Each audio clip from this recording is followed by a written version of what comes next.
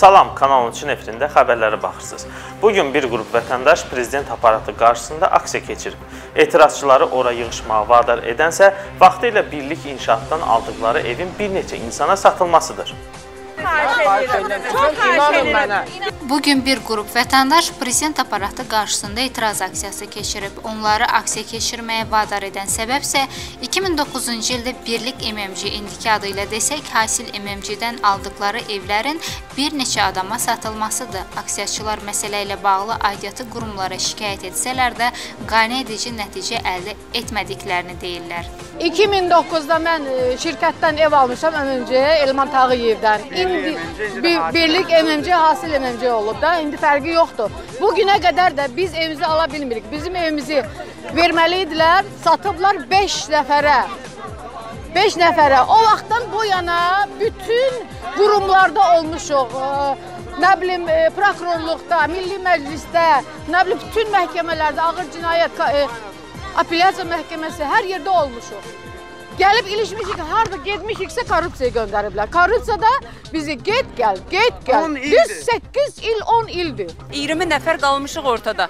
Nə pulumuz var, nə evimiz var. O cümlədən mənim özümün şəxsən 2014-cü ildə aldığım evi başqa bir adam skaner vasitəsilə çıxarılmış sənədlə gəlib mənim evimi e, ali məhkəməyə qədər udub icraçılar məni çıxardıb. İndi mən də ekspertiza rəyinə vermişəm.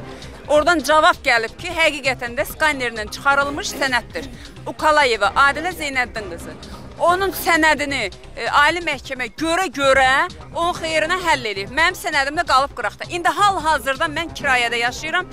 Heç bir evim yoxdur, özüm də qalmışam ortada. Mənim işimə baxan yoxdur.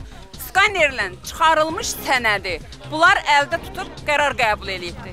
Mən çox xahiş edirəm prezidentimizdən bizim səsimizə səs versin. Biz dəstəkləyirik onu.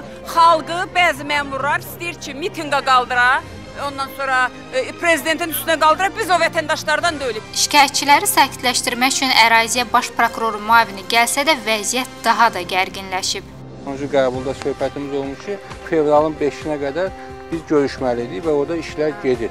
Artıq işlərə başlanılıbdır. Və indi siz də gəlmişsiniz və mən xahiş edirəm, yəni 5-nə qədər siz biz görüşməliydik. Ona görə xahiş edirəm gedə idarəyə biz bütün məsələləri həll edəcəyik. Belə məsələ həll olacaq. Kamran müəllim, bircə dənə mən sizə Mən- sual verim, bircə dənə.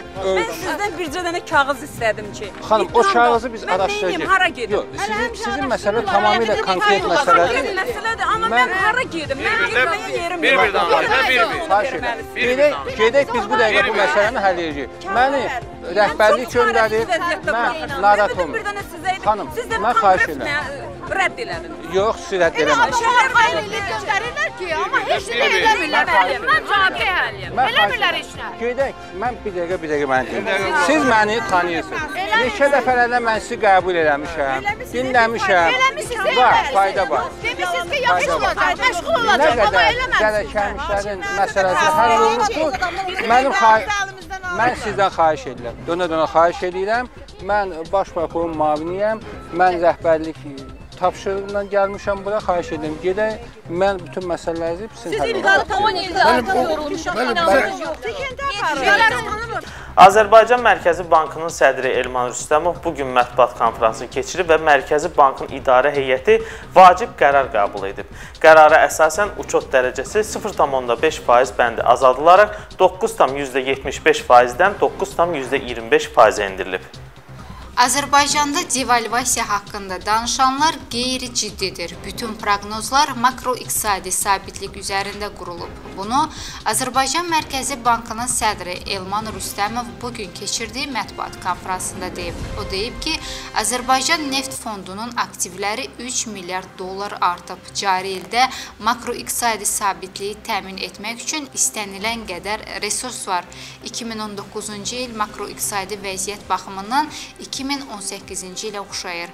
Elman Rüstəmov bildirib ki, bu il Azərbaycan valyuta bazarına 6,8 milyard dollarlıq transfer daxil olacaq. Neftin qiymətinin təsiri isə əhəmiyyətli dərəcədə məhdudlaşdırılıb. Azərbaycan Mərkəzi Bankının idarə heyəti həm də vacib qərar qəbul edib. Belə ki, idarə heyəti uçot dərəcəsinin 0,5% bəndini azaldaraq 9,75 faizdən 9,25 faizi endirib. Qeyd edək ki, uçot dərəcəsi dolların məzənnəsinə təsir edən əsas amillərdən biri hesab edilir. Azərbaycanda donuz qripi virusunun olması rəsmən təsdiqlənib. Ümumdünya Səhiyyə Təşkilatının Azərbaycan üzrə ofisinin rəhbəri Hande Harmancı keçirdiyi mətbuat konfransında bunu təsdiqləyib.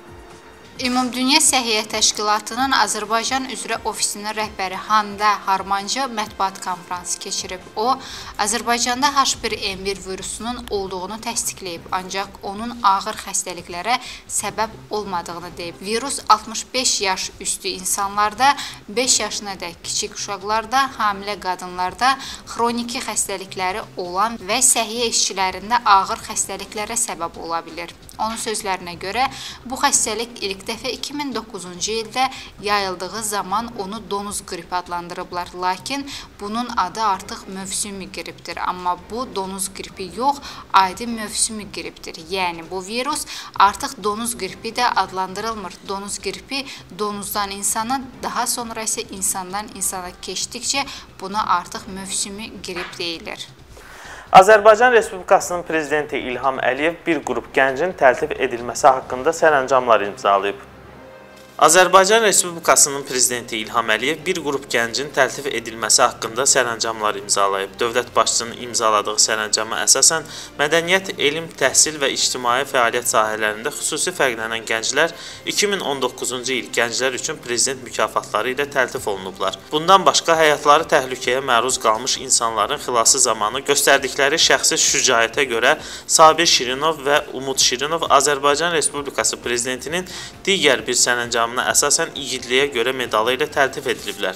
Xatırladaq ki, yanvarın 19-da Ümid və Sabir Şirinov qardaşları Ukraynanın Zayçevski kəndi yaxınlığında yanan avtomobildən bir ailənin 3 üzvünü çıxararaq onları ölümdən xilas ediblər.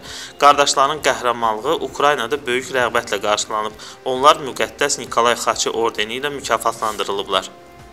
Ermənistanın baş naziri Nikol Paşinyanın başına maraqlı hadisə gəlib. Belə ki, nazirin iqamətgahından oğurluq olub. Ermənistanın baş naziri Nikol Paşinyanın iqamətgahından oğurluq olub. Bunu hökumət başçısı aparatının istismar bölməsinin rəisi bildirib. Onun sözlərinə görə yanvarın 25-i 30-u tarixi arasında baş nazirin paytaxt Yerevanın Baqramyan küçəsi 26 ünvanında yerləşən iqamətgahından xatirə sikkələri oğurlanıb. Hələlik kimlikləri müəyyənləşdirilməmiş oğru və ya oğrular aparatın birinci korpusundan 4 xatirə sikkəsi aparıblar. Həmin sikkələr binanın 3-cü mərtəbəsindəki stenddə saxlanılırmış. Polis hadisə ilə bağlı araşdırma aparır. Bu saatlıq bu qədər. Axşam xəbərlərini izləməyi unutmayın.